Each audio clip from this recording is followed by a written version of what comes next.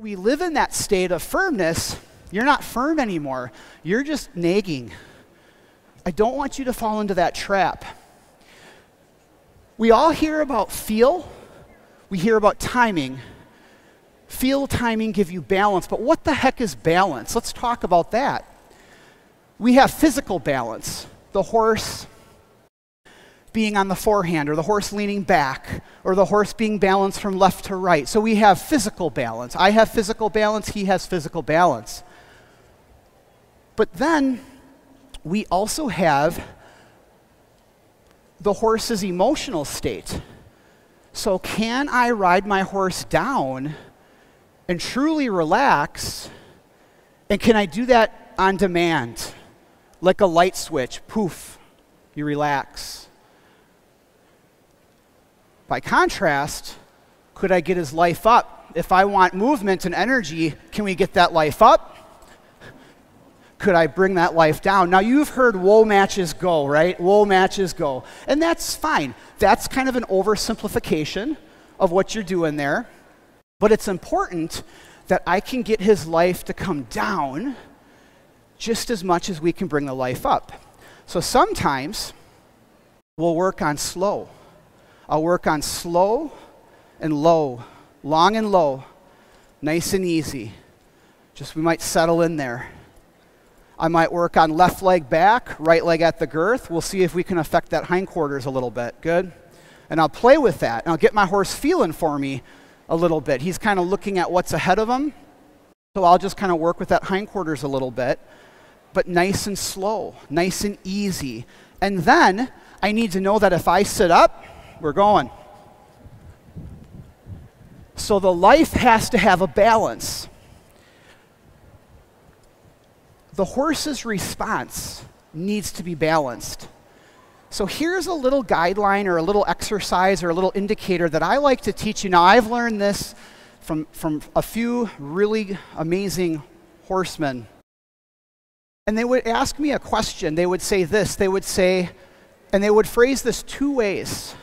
They might ask me, Jack, how soon could you halt? Or they might say, Jack, how little does it take to halt? Now, do you see the difference in the question? So, if I were to say, How soon could I halt? I might get firmer sooner to get a horse to feel for what I'm asking. If I were working on cantering, I might get a little firmer sooner. Now, that's not refined. It's to sharpen our horse's response. Using how soon will sharpen your horse. But that's different than if we were to say, how little does it take to canter? So once I do a time or two of how soon, that was pretty soon. Then I start getting into how little. Ah, and that gives you balance, that gives you equilibrium. So when you hear about feel and timing, people don't always explain the balance part so much, do they? And there's a physical balance, there's a mental balance. But that how little and how soon is a great way for you to kind of judge your horse. And some people live in the how littles. If you're always trying to do it with very little, eventually your horse will stop being responsive. Have you ever heard the phrase respond to respect or response gives you respect? Now, you all hear a horse has to respect you, right? You hear that a lot, but what does that mean? The appropriate response, that tells me does my dog respect me? Does my horse respect me? It's how they respond. That's all it is. Respect is in the response of the horse.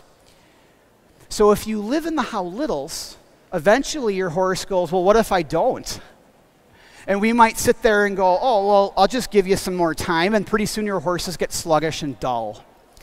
Then there's those of us who live in the how soon moment. Have you ever seen a rider that everything is fast? They snatch, snatch, snatch. Everything's fast. How fast can they go? How fast can they stop? Can they bend their horse? So some folks re- really work on the speed, but what happens when you're always working on speed? what, is, what happens to their brain? Yeah. They, they, get, they get scared of you. You go out to catch them one day, they look at you and they go, You're too much like work, right? So we have this as a balance. So I hope that makes sense that how little and how soon. All right, now, all of this talk of aiding with your seat and your core and your Kreuz aids and using your abdomen and all that stuff, it doesn't mean anything to your horse if your horse isn't responsive and willingly forward. We want a horse to be calm, forward, straight. But I do need forward. So if my horse is waiting until he has to do something, so I say walk, and he waits until we squeeze. And I squeeze, and my leg comes up, and I tip forward, and I cramp up his sides because I'm driving my leg into him. And he, he walks, and he goes, Ugh, and he walks. Boy, the seat won't matter. What we have to do is get our horses responsive to our center, to our seat, and to our upper body position. I'll give you an exercise that we can all do with our horses at home. And here it is. We're going to start with the first one, and that would be I'm going to squeeze and release my reins, my abdomen, my upper thigh to halt. And then I might back up a step or two. I'm going to sit tall, tuck my seat, open the leg, and if he doesn't go, I'd bump.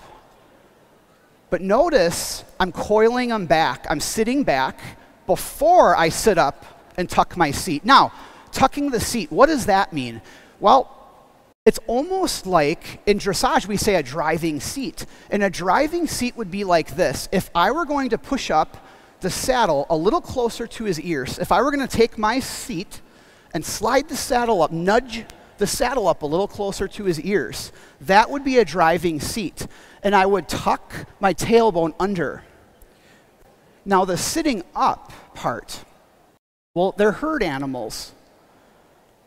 So when their herd mates come up in the air, they all come up in the air. They, when their head is down, they're grazing and they're relaxed. Their energy and their life is off.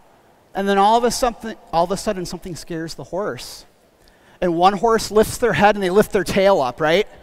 And then what do all the other horses do? They all lift, yeah, they all flag and they lift their tail up. So our upper body sitting up is so important. Because if I sit up, I'm conveying to my horse life. If I sit here, I'm conveying ugh, slow.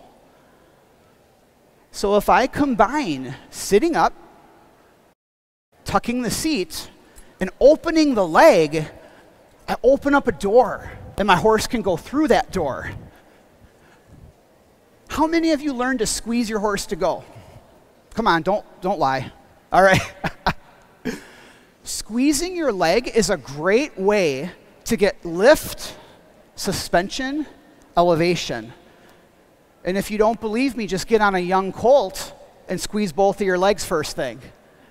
And where are they going to go? They're not going to go forward. They're going to go up. They're going to go, you want my back up? Whoop, there it is. Save squeezing for lift, suspension, elevation. Save it for later. Save it for later. This, the squeezing of the leg is not important anyway. It's what you do with your seat and your Kreuz aids. So I open my leg. So what I do, from that open leg, it's possible that if I had to, I could bump them because my leg's already off of them. So I sit up, I tuck my seat, I open leg, and if I had to, I could bump or I could kick if I needed to. I don't want to bump on my horse, but you get the idea. Now, when I use my leg and I would bump with my leg, I want you to think of this. Keep your leg very relaxed. Don't tighten up your muscles in your thigh or in your calves. Don't do that. What I want you to do is this think about from the hip and the knee down, loose leg. So, this is how I get firm with my leg. Ready? I keep my leg loose I keep my leg loose. Now, a person could get pretty firm. See? A person could get pretty firm with that. But I'm not going to kick and hold. I'm not going to squeeze because we're just going to tighten up their muscles. So I sit up, I tuck my seat, I could open the leg, and pretty soon my horse goes, I'm going, Jack, I'm going, I'm going. You don't need, you don't need to do that bumping, that bumping thing.